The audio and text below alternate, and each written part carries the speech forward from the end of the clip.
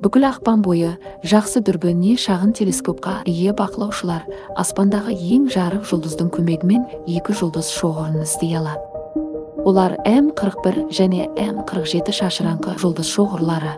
Шашыраңқы аталу себебі ондағы бір бұлттан түзілген жұлдыздар кеңістікте өзара жақын бірақ біртіндеп шашырап бара жатыр. Бұларды іздеуді қысқы түні оңтүстікте ерекше жарқырайтын сүмбіледен бастаңыз. М 41 сүмбіледен оңтүстікке қарай небәрі 4 градуста. Және дүрбінің бір көзқарас аясынан әлсіз жарықтағы түрінде көрінуі тиіс. Оның ені толған аймен шамалас болып көрінгенімен іс жүзінде 25 жарық жылындай және бізден 2300 жарық жылы қашықтықта. М 47-ні табу үшін сүмбіледен шығысқа қарай 12 градус сосын солтүстікке 2 градустай жүріңіз.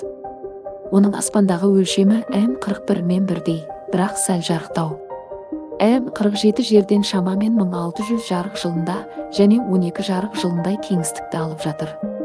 Біздің күнде осындай шоғырдың құрамында түзілген деп саналады.